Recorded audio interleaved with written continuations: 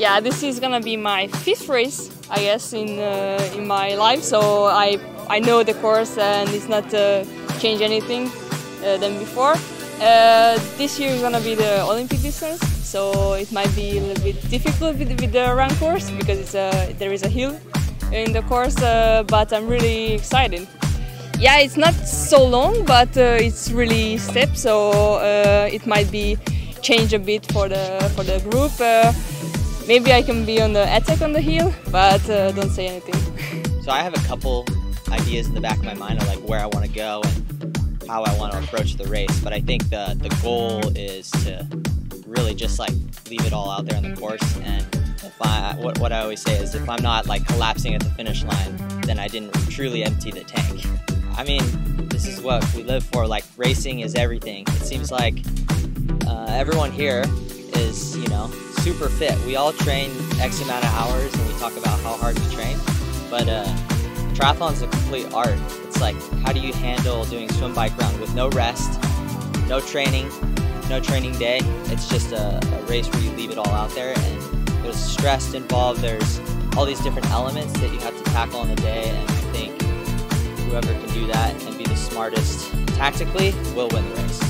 I think it will be very different uh, because it will be longer, so I think maybe uh, more things could uh, happen in the race. So yes, we will see. It's very interesting. I think we could have a lot of surprises because I think I don't know uh, each athlete here, yes, once again, it will be very interesting. I'm very excited because it's my first World Cup out of America, and I'm a little nervous also, but uh, I think it's gonna be great tomorrow, and I hope I can do my best for for me and for my family and my teammates.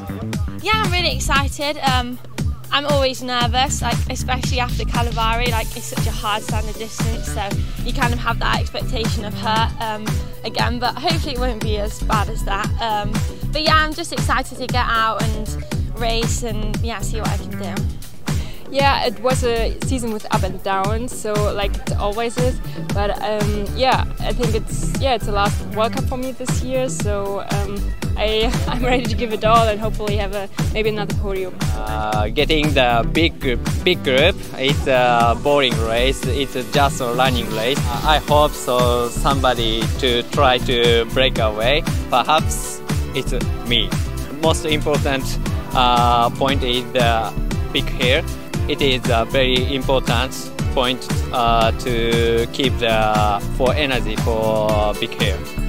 For me, uh, it's a bit about experience and just like I'm going to stick to my race and not get too worried about what happens. Uh, you know, maybe if someone else is really, really fast, but uh, yeah, I'll be right there, uh, hopefully in the mix.